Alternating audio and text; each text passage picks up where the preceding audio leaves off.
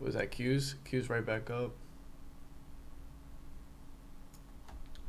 Oh, I might be taking Q's. I switched over to Q's just because Q's is closer. But I could switch over at any minute. Another. Yeah. This could move, especially after high day. I see. And it's zero DTE, so this should move. Broke. Got in that.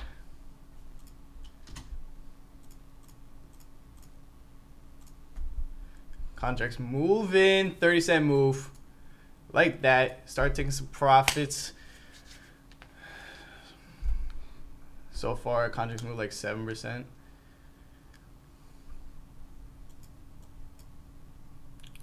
Cause like, bro, once we got the new high and then that 460, I was like, we'll get a little scalp here. Nothing crazy. Don't expect anything crazy on this though. But we about to get another high, new high. Mm, mm, mm, mm. Right in the 40s, 50s. Oh my gosh, bring it to us, baby. Oh my gosh, yes, 14 percent. Oh my gosh, 20% now. Give it to us. Keep going. Number, I'm like 80% out. Let's take like a little bit more off here. Okay. Oh my gosh, new high incoming. All right, we had a 80 cent move. We're probably gonna have to pull back into this break even point. So I'm about 80% out right now, give or take.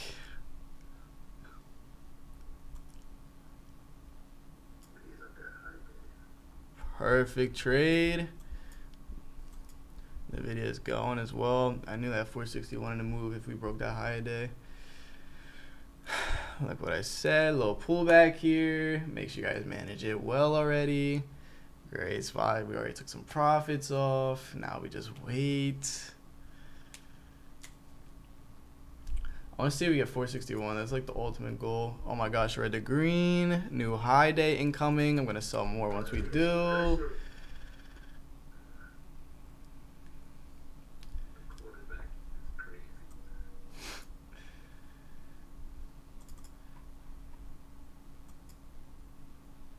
It broke high day by two cents. This is gonna have to come back down. Nvidia is flying. But there's a reason why I'm already 80% out. Oh my gosh, red to green again. Oh, new high. And taking some more off right there. Just because we are starting to hold that 80s a little bit too much. But this could easily go to 461. Uh, probability is probability. Just because you have a 90% probability going up, we can still have a 10% going down. So, but this definitely is starting to get a little weak up here. It's gonna have to pull back a little bit. I am 90% out now. Stop loss to break even on these contracts.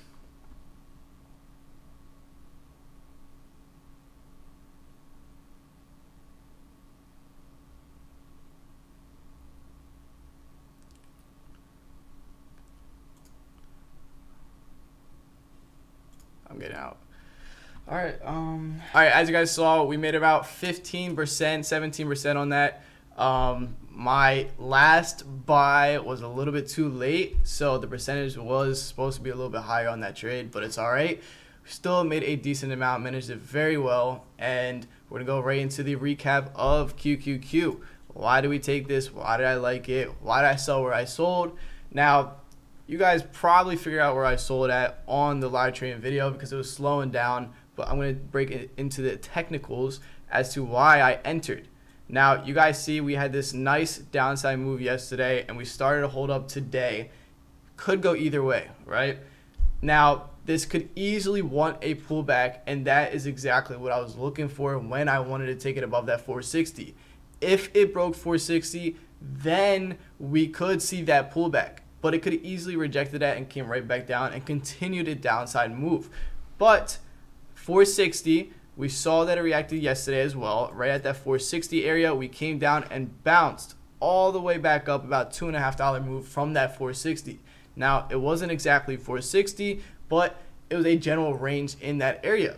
Now coming on to today, you guys can see that after hours kind of rejected that, kind of balanced that. Pre-market, we kind of held up in that area of that 460. Now it's not exactly 460, but that is the psychological level that we are looking at. So I'm not going to take it exactly at 459.8. I want to see that psycholo- psychological level at 460 just because that could stop the entire trade. Now, my first add was right at that 459 80 90s because that was that previous high day. And with enough momentum, we saw on that candle buyers coming in I decided to anticipate that just because there was a lot more buyers and sellers. We're coming up to this high day.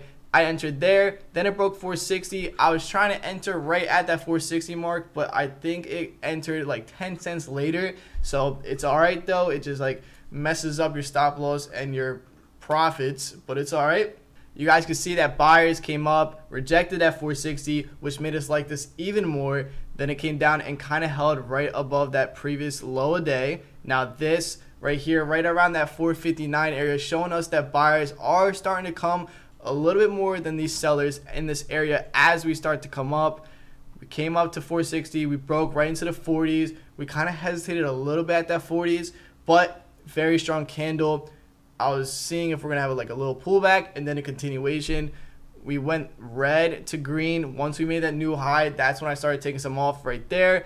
And as you guys can see, you know, we're starting to wick a little bit at that 80s point. We're starting to hold that area. Then we went green, red, and then kind of just stayed right there, that's how I know we were starting to get a little bit weak here and we needed some sort of pullback.